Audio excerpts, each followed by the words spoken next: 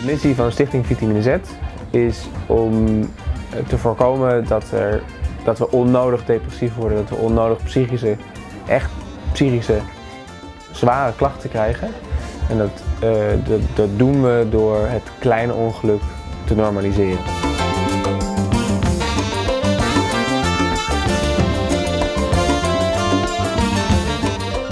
We leven in een wereld waarin het perfecte eigenlijk heel erg gepromoot wordt. Dus de perfecte relatie, de perfecte baan, de perfecte vriendschappen, de perfecte reizen, het houdt niet op. En dat is ook een beetje de norm die we voor onszelf gesteld hebben. Maar dat is helemaal geen realistisch mensbeeld. Want een normaal mens is de ene dag heel blij en gaat allemaal goed. En de andere dag ja, zit het tegen en voel je je kloten. Onzekerheid, eenzaamheid, verdriet, boosheid. Eigenlijk alle imperfecties die gewoon eigenlijk heel normaal zijn, maar waar we geen plaats voor geven. Doordat we het dus zo structureel onderdrukken, uh, worden we heel erg ziek. Enorme epidemie aan psychische klachten, vooral burn-out en depressie.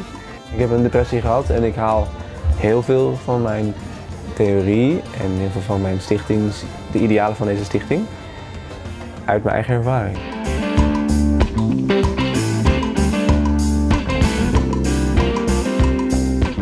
feest vol met kunstenaars die allemaal op hun eigen manier, laten we zeggen, de depressiviteit, de somberheid en de neerslachtigheid verheffen tot kunst, tot iets wat we kunnen beschouwen, tot iets wat we dus ook opeens op een speelse manier kunnen gaan bekijken. En wat we dus eigenlijk daarmee doen, is de bezoeker die hier komt, heel erg een soort oefenruimte geven om wel met die onwenselijke imperfecties om te gaan hele normale dingen waar we het eigenlijk liever niet over hebben.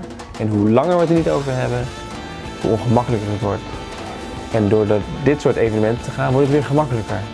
En kom je ook dichter bij elkaar.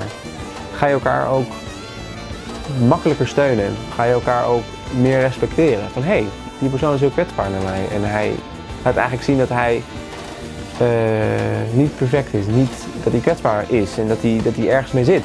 En dat dat nodigt ook heel erg uit om tegen diezelfde persoon later te zeggen van hé, hey, ik, wil dit bij jou, ik kan het bij jou delen, want jij weet waar je het over hebt. En zo nodig je elkaar uit en ontstaat er een nieuwe, een haalbare norm.